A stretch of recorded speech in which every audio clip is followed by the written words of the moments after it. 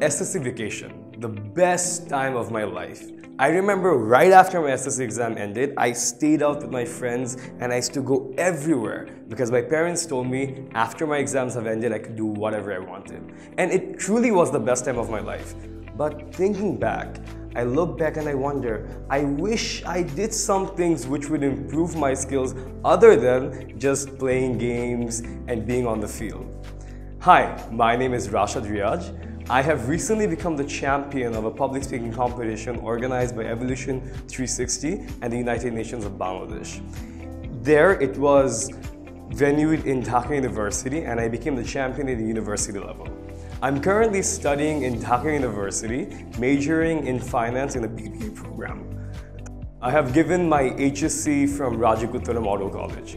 See, life gives us a lot of opportunities. Just after winning that competition, I was offered to become a coach of the public speaking department at TESOL. You might think I'm a very good speaker. My friends tell me I'm a very good speaker, but I had to struggle a lot. See, when I was young, I used to live in a colony and in different colonies there used to be competitions. And I remember when I was at the age of four, I went up on stage and I was reciting a poem. Just in the middle of the poem, I stopped and I could not remember anything. I started to stutter and everybody started to laugh at me. I remember I got down from stage and I cried and I did not want to go on stage ever again. Fast forward to class 5. There was another event. This time I was very brave and I went on stage once again to recite another poem. Guess what happened? I stopped right in the middle again and everybody started to laugh. And I promised myself I will never, ever get on a stage ever again in my life. But who knew that that would change my life? See, when I was in college in my HSC, I was very disturbed doing this and that, not being focused on my education. But do you know what saved me? The platform, that stage.